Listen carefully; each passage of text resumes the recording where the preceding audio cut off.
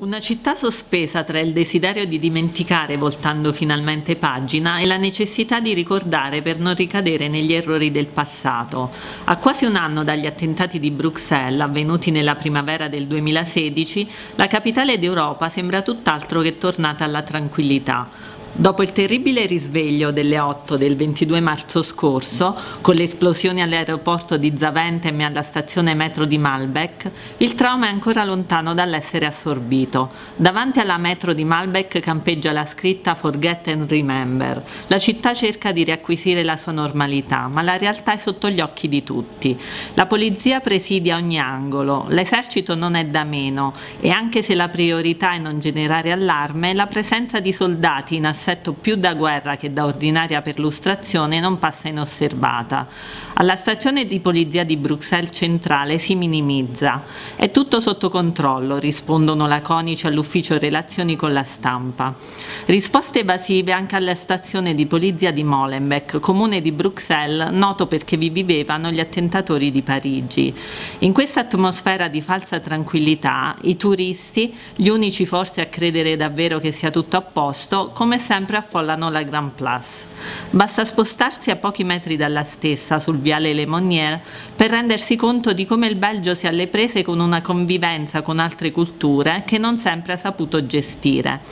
Il dato dal quale si parte è che il processo di islamizzazione di Bruxelles, pur avendo radici antiche, come il fenomeno migratorio dal Nord Africa verso il Belgio, è andato molto avanti soprattutto negli ultimi dieci anni.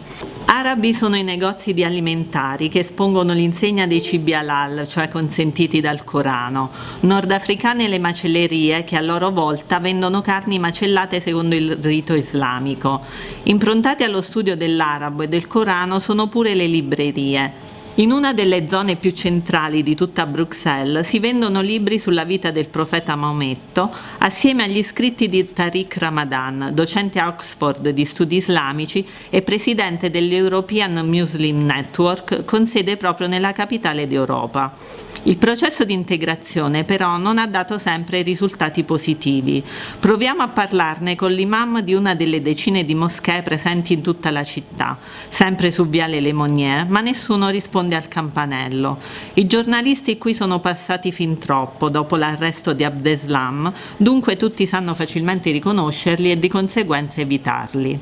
Non c'è bisogno di allontanarsi troppo dal centro, neanche per arrivare a Molenbeek, il famigerato quartiere dal quale sono partiti gli attentatori di Parigi, i fratelli Abdeslam assieme a colui che è considerato il loro reclutatore, Abaoud.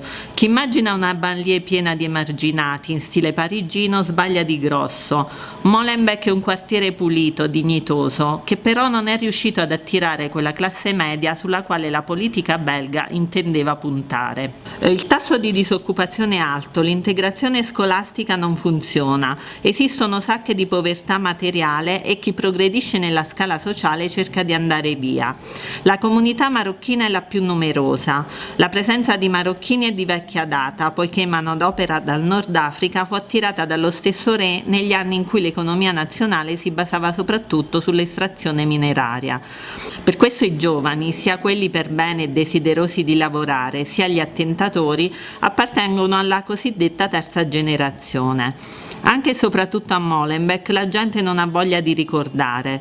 Voi giornalisti dovete smettere di parlare male di chi vive qui, dice un signore di una certa età. La gente è ormai stufa della stampa, in troppi si sono sentiti accomunati ad una minoranza che ha deciso di votarsi al jihad. Ma non si può certo fingere che nulla sia successo e che nessuno sia partito da Molenbeek per destabilizzare l'Europa.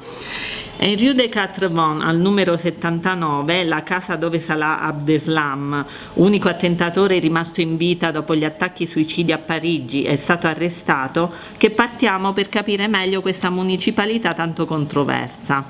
Un ragazzo che accetta di farci da guida solo se resterà nell'anonimato ci parla di come avviene l'indottrinamento.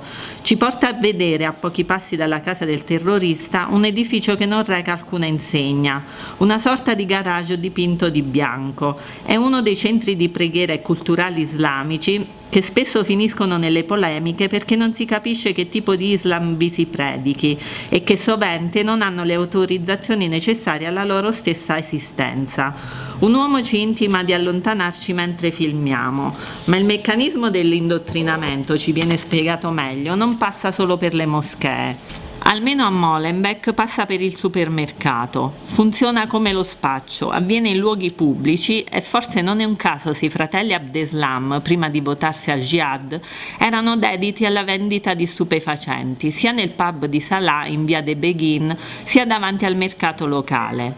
Il dato viene confermato da Annalisa Guadaleta, assessore alla cultura e all'istruzione del comune di Molenbeek tutti i terroristi che sono stati coinvolti negli attentati di, eh, di, Parigi particolarmente ma anche di Bruxelles, si tratta di persone con un, alle spalle un percorso criminale, non di per sé grossa criminalità, spesso era un percorso di criminalità di strada eh, o legata al consumo e allo spaccio di stupefacenti come i fratelli, Salab, come i fratelli Abdeslam, eh. prima di essere terroristi eh, loro avevano un caffè alla Rio de Beghin dove si, si, vendeva, si spacciava cannabis, un caffè che era stato d'altronde chiuso o, o, anche dal sindaco per spaccio, per spaccio di stupefacenti. A Bahud un po' la stessa storia, Bahud era un giovane uomo conosciuto dai servizi della polizia perché voilà, aveva un passato di, di piccolo, piccolo, criminale, quindi quello che noi notiamo per quanto riguarda gli aspetti terroristici eh, c'è sicuramente un filo rosso. Oh, rispetto a questo legame fra criminalità eh, di un certo tipo e terrorismo ed è un punto sul quale bisognerà probabilmente fare un po' più di ricerca e capirlo un po' di più. Quelli che partono in Siria invece il profilo è un po' più vario, cioè in effetti chi è partito in Siria per sfuggire a una pena di prigione, c'è chi è partito in Siria soprattutto all'inizio del conflitto nel 2013 per una questione di adesione ideologica, per credere veramente di andare a fare qualcosa di buono lottando contro, contro Assad, eh, ci sono quelli che partono perché non hanno niente da perdere, perché non si fanno costruire un profilo, non si sanno più costruire un, un futuro qui, quindi quelli che partono in Siria diciamo il profilo è un po' più, più diverso, più, più vario. Quello che noi abbiamo potuto ricostruire fino ad ora mostra che l'indottrinamento non si fa nelle moschee ma spesso per strada, ci sono quelli che chiamano dei recruteur eh, che vanno a cercare il profilo spesso di giovani o adulti giovani con in realtà diciamo, un percorso biografico particolarmente, particolarmente difficile e vengono cercati nello spazio pubblico e spesso tutto il processo di indottrinamento si fa via internet. C'è stato un caso, due casi di eh, due donne ehm, che sono partite in Siria, che avevano in effetti seguito dei corsi di Islam eh, alla Grande Moschea di Bruxelles, che praticamente la Grande Moschea di Bruxelles si trova nel Parco di Saint Cantenaire a due passi dalle istituzioni europee ed era un pezzo di terreno che, che il re Baldovino aveva regalato all'Arabia Saudita dopo un grande incendio fine degli anni 60 in una in un grande negozio qui, qui a Bruxelles, l'Arabia Saudita all'epoca aveva aiutato le vittime e in ricambio per ringraziarlo gli avevano regalato questo, questo terreno. E eh, diciamo è già da anni che si discute sul tipo di, di, di religione o di interpretazione dell'Islam che viene diffuso dalla grande moschea moschea di Bruxelles. Se a Molenbeek le moschee sembrano dunque avere avuto un peso relativo nella questione dell'indottrinamento, la vera e grande imputata nella diffusione di un Islam violento ed estremo è la grande moschea di Bruxelles. Da qui, come conferma anche un rapporto dell'OCAM, organo di coordinamento del governo belga, parte la predicazione delle idee improntate al salafismo. Il comune di Molenbeek cerca come può di intervenire, ma la situazione è difficile. Di fronte a tutto ciò, le politiche delle istituzioni europee appaiono drammaticamente insufficienti. I loro rappresentanti somigliano a struzzi che hanno ormai messo la testa sotto la terra, simili alle statue costruite a pochi metri dal Parlamento europeo.